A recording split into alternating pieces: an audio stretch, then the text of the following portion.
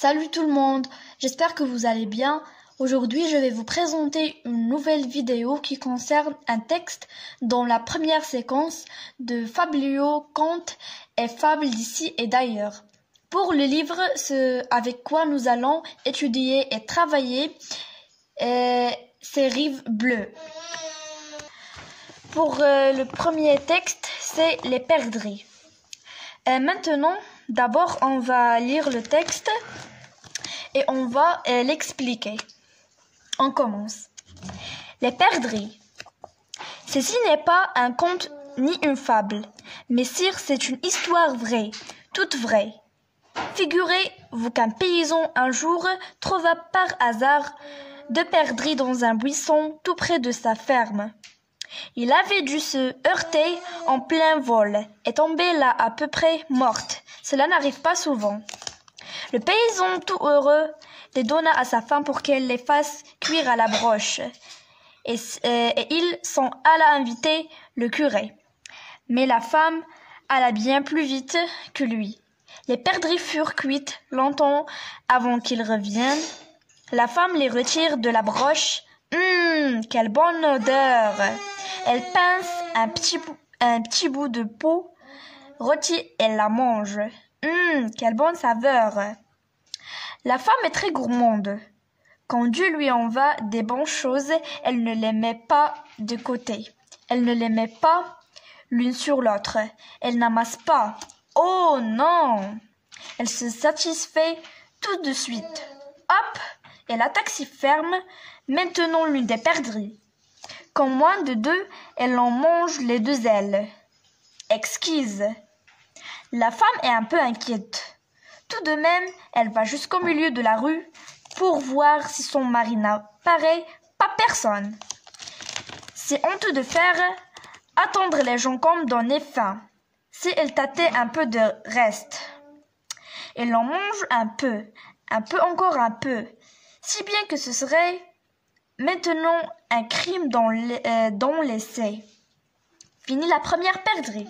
Et s'est-elle mangé la seconde Elle sait bien comment elle s'en tirera si son mari lui demande où elle s'en passait.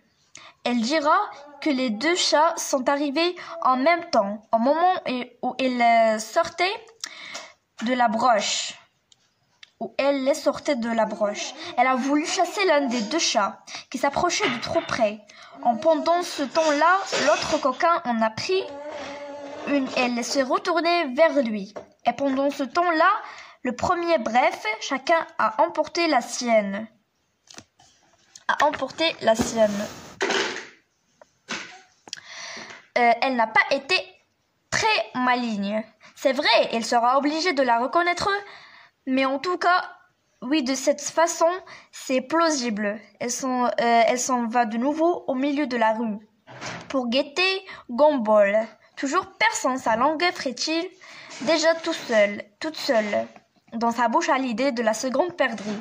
Encore toute chaude, vraiment elle deviendra enragée, si elle ne la mange pas tout, pas tout de suite. D'abord la bonne petite pas du coup, avec délice, elle s'en pourlèche les doigts. Oui, mais maintenant, je ne peux plus laisser le reste, se dit-elle. Il faut nécessairement que je mange tout. D'ailleurs, j'en ai trop envie. Vous l'avez deviné bientôt. Il ne reste plus un seul bout de char des deux petites bêtes. Elle nettoie bientôt. Le paysan revient enfin, il n'a pas encore ouvert la porte qu'il crie. Déjà alors, ma douce, elles sont cuites. Hélas. Oui, elles l'étaient, mais les chats les ont mangées. Je n'ai pas pu. Comment? Le mari se jette sur sa femme comme un enragé. Il est tellement furieux qu'il a vu la battre de toutes ses forces. Elle l'arrête. C'était pour rire, voyons. Arrière, grand diable, je les ai couvertes pour les tenir au chaud. C'est bien moins euh, bon qu'on se, euh, tiède. Ah, ça veut mieux. Par Saint-Lazare, je t'en aurais chanté de belles si tu m'avais fait ça. On va mettre la nappe blanche sous la treille puisqu'il fait beau. Sors mon nappe de bois. Je vais le sortir, euh, toi va aiguiser son couteau. Elle en a besoin, c'est vrai, je le fais tout de suite. Le paysan ôte sa vareuse et va la meule, son couteau tout à la main. Mais voici le curé, cette fois gai comme un pinson. Elle commence une belle phrase pour saluer la dame. Mais elle ne laisse pas, elle ne laisse pas euh, finir. Partez, messieurs, fuyez, mon mari l'histoire des perdrix. J'espère que vous avez euh, compris la lecture. Maintenant, je vais vous expliquer c'est quoi les fabliaux, la définition des fabliaux. Alors, les, fabliaux sont des récits brefs qui ont pour fonction de divertir les lecteurs et leur donner une leçon de morale. Ce sont des écrits apparus au Moyen Âge et dont les auteurs sont souvent anonymes. Maintenant, les caractéristiques des fabliaux. Les fabliaux sont fondés sur l'enchaînement rapide des actions qui suivent cette structure narrative. Première situation initiale.